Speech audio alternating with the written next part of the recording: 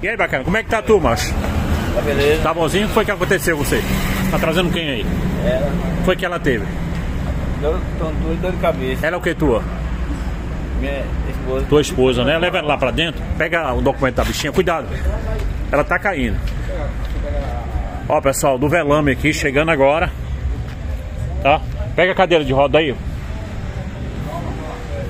Viu? Ela passou mal, foi, velho? Passou mal? Passou? Foi? Dentro de casa mesmo, né? Foi. Pronto, mas está chegando o atendimento agora aqui na UPA. Pessoal, você que está acompanhando nesse momento, está aí. Ambulância trabalhando a todo vapor no distrito.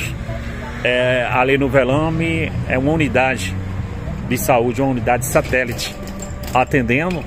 Lá também a- ao pessoal daquela comunidade, mas como hoje é domingo, todo atendimento vem para aqui. E nesse momento ela está sendo colocada, o motorista aí, ó, dando o maior suporte, o apoio também. Ela vai sentar nesse momento na cadeira. Ah, Olha aí, muito bem, gente. Muito bem. Leva ela lá para dentro. Eu sou o repórter fala sério. Pouco instante entrou um ali pela sala vermelha, um acidente que aconteceu pouco instante de moto.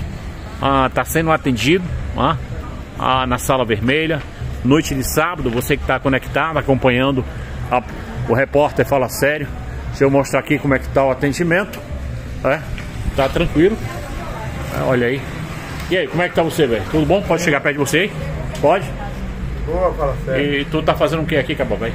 E trazer a mulher, tá desde segunda-feira com as pernas inchadas, tô aí esperando aí a contato da mulher. Contato, mas ela já foi atendida já? Já, Pronto. Beleza. Isso é bom, né? é bom demais. Valeu então. Olha aí. É desse jeito. Então, vem com a gente. Bye.